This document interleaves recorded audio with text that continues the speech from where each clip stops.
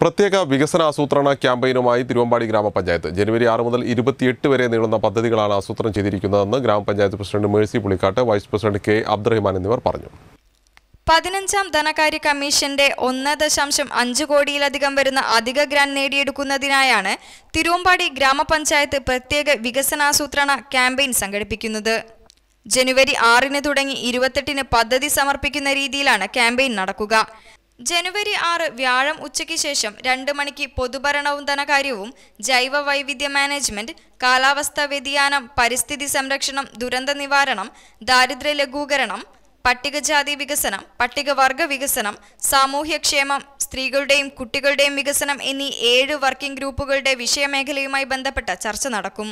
ജനുവരി ഏഴ് വെള്ളി രാവിലെ ഒൻപത് മുപ്പതിന് വിദ്യാഭ്യാസം സംസ്കാരം കലാകായിക യുവജനക്ഷേമം ആരോഗ്യം കുടിവെള്ളം ശുചിത്വം മാലിന്യ പരിപാലനം എന്നിവയും കൃഷിയും ഉൽപ്പന്നവും സംഭരണവും സംസ്കരണവും വിപണനവും പ്രാദേശിക സാമ്പത്തിക വികസനം മൃഗസംരക്ഷണം ക്ഷീരവികസനം പൊതുമരാമത്ത് എന്നീ ഏഴ് വർക്കിംഗ് ഗ്രൂപ്പുകളുടെ വിഷയമേഖലയുമായി ബന്ധപ്പെട്ട ചർച്ച നടക്കും.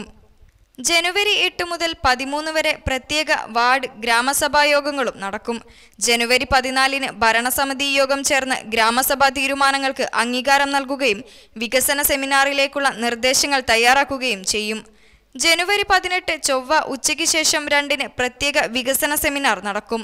വർക്കിംഗ് ഗ്രൂപ്പ് ഗ്രാമസഭകൾ വികസന സെമിനാർ എന്നിവയിലെ നിർദ്ദേശങ്ങൾ ചർച്ച ചെയ്ത് വിഷയമേഖലകളിലെ നിർദ്ദേശങ്ങൾക്ക് കരട് രൂപം തയ്യാറാക്കി ജനുവരി ഇരുപത്തിരണ്ടിന് നടക്കുന്ന ഭരണസമിതി മുമ്പാകെ സമർപ്പിക്കും.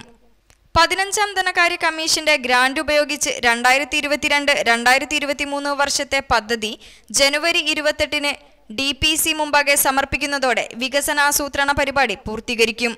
ആസൂത്രണ പ്രക്രിയകൾ സമയബന്ധിതമായി നടപ്പാക്കാൻ ഗ്രാമത്തിലെ മുഴുവൻ ജനങ്ങളുടെയും പങ്കാളിത്തവും സഹായ സഹകരണവും ഉണ്ടാവണമെന്നാണ് ഗ്രാമപഞ്ചായത്ത് പ്രസിഡന്റ് മേഴ്സി പുളിക്കാട്ടും വൈസ് പ്രസിഡന്റ് കെ അബ്ദുറഹിമാനും അറിയിച്ചത്.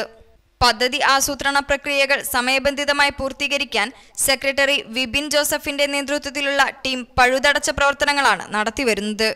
News bureau Thiruvambady.